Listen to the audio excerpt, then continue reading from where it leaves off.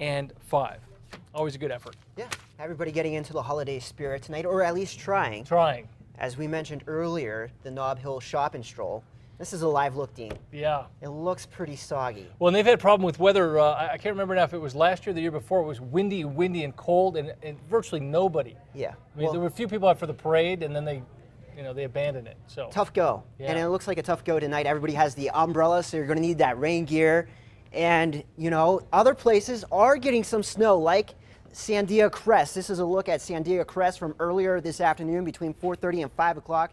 This is thanks to Kerry Jones. He says they picked up about an inch, inch and a half. So we are seeing some snow, but you really have to get up there in the mountains, in the East Mountains. Same deal in the Northern Mountains. This is a live look at the radar here in Albuquerque. We will continue with some pockets of light to moderate rain, basically on the north side of the metro and then farther to the north along Interstate 25 and dealing with some rain and snow showers likely on the East Mountains. So not all of it being picked up by the radar, but we'll continue with that chance for some rain here over the next couple of hours. Then some pockets of moderate rain in northeastern New Mexico along Interstate 40 between Santa Rosa and Tucumcari. So if you are heading out tonight, run into some rain and some areas of dense fog. Give yourself some extra time and use those low beam headlights. And you can see the snow and the higher elevations of the northern mountains, but we're talking about above 9,500 feet and only about two to five inches of snow because this storm is a pretty warm storm system. Because take a look at the temperatures right now. Over the past six hours, we've been stuck in the middle to upper 40s here in Albuquerque. Earlier in Taos, you're in the middle 40s, now dipping back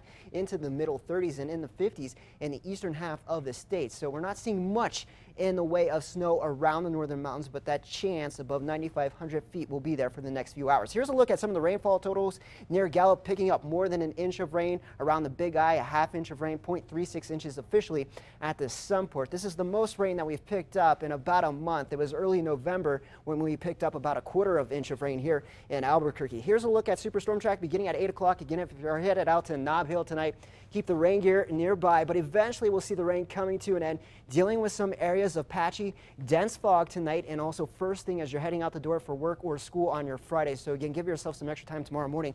By the afternoon, we'll see a lot of sunshine. It's going to be a nice looking day, also feeling pretty nice with temperatures on the mild side and even above average. Then on Saturday, things begin to change once again. We'll watch another storm system move in. That could trigger some more snow in the San Juans of southern Colorado and also some spotty showers in central and western New Mexico. Here's a look at that forecast for the snowfall tonight. Again, not a lot of snow, two to five inches possible above 9,500 feet and the Sangre de Cristo Mountains and the San Juans of northern New Mexico. In southern Colorado for tonight, temperatures falling back into the 20s, dealing with some areas of fog and then some afternoon sunshine for your Friday. Over to the Four Corners, temperatures into the 50s, staying in the 50s for Saturday and Sunday with another round of showers possible on Saturday. Then over to the southwest, those showers coming to an end. We'll clear our skies out tomorrow. Temperatures not bad at all. How about the 50s and the 60s? So get outside and enjoy that tomorrow. Then over to the southeast, more sunshine. Temperatures into the upper 60s in Roswell, 62 in Lovington, 63 in Hobbs. Then over to the northeast after some morning fog, we'll see that sunshine. Temperatures into the 50s and the 60s. And then over to the northern mountains, we'll have those showers out there right now. They'll continue during the overnight hours. Then we'll clear our skies out for tomorrow afternoon. And then over to the east mountains after some morning fog, we'll see that sunshine. Temperatures into the 40s and the 50s. And then in the metro, same deal.